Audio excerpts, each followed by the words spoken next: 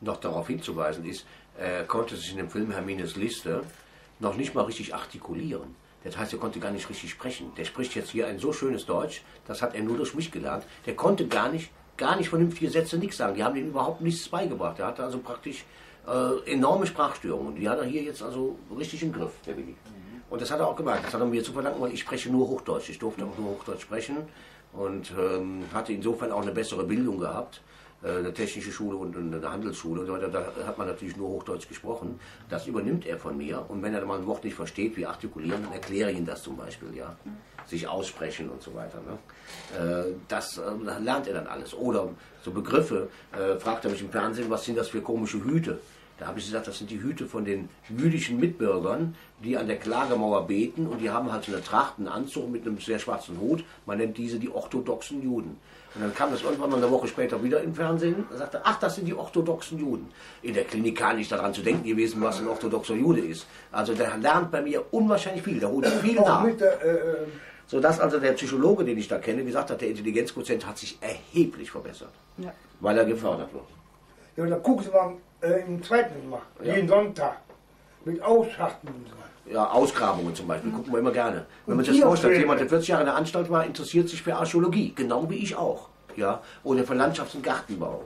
Ja? Mhm. Äh, Zoosendungen gucken wir hier. Ich gucke, dass der immer möglichst nur diese normalen kulturellen Sachen, nicht diese absoluten Schießereien guckt. Ja.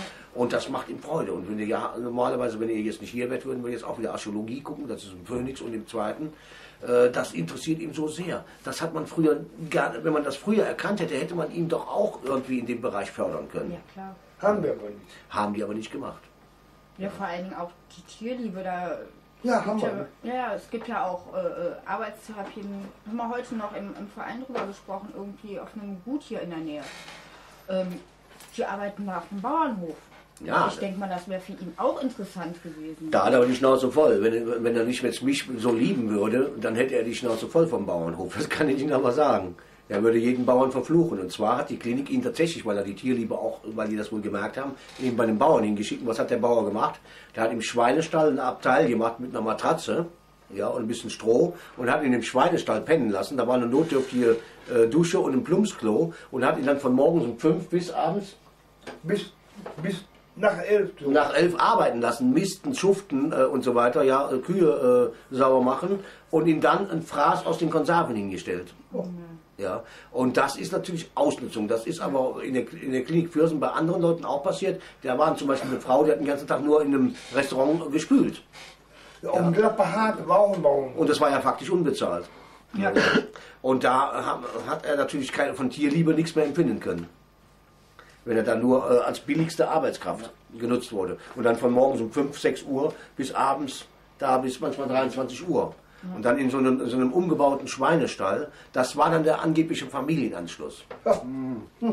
Und da hat er dann irgendwann mal gesagt, was hast du gemacht? Du hast gesagt, ich will da nicht mehr oder was, ne? Ja. Und dann haben sie ihn in die Klinik wieder zurückgeholt.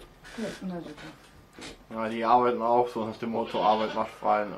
Also Richtig, das ist also, ist also wirklich schlimm. Also das war zu der Zeit also offensichtlich in der Klinik da gang und gäbe, dass die Leute dann irgendwie vermittelt wurden. Mal in einem Restaurant, da waren den ganzen Tag nur äh, Teller gespült und sowas, ja. Oder wie hier da äh, Hilfsarbeiterjobs, was normalerweise ein Knecht macht, ja. ohne jeglichen Bezug zu den Tieren oder sonst was. Da wurde dann gemistet, dann hat er die Milchkannen weggetragen, da hat er irgendwie auf dem Hof gekehrt, also äh, unsinnige Sachen, wo er also effektiv nichts von hatte. Und dann noch eben so ein Fraß gekriegt und dann menschenunwürdig da untergebracht mit einer notdürftig selbstgebauten Dusche. Und lieblos. Familienanschluss, Liebe oder so, Zuneigung. Nix, nix, nix, nix. Nur weil er als Arbeiter da, ne? ja. nicht als Familienangehöriger. Nee, nee, nee. Hast du auch alleine essen müssen, ne? Die haben schön getafelt in einer schönen Küche und du musstest dann in so einem äh, Kabuff ja, ja. essen. Ja, ja. So was war da. Das ist äh, Vermittlung von äh, Fürsen, das nennt man dann Arbeitstherapie.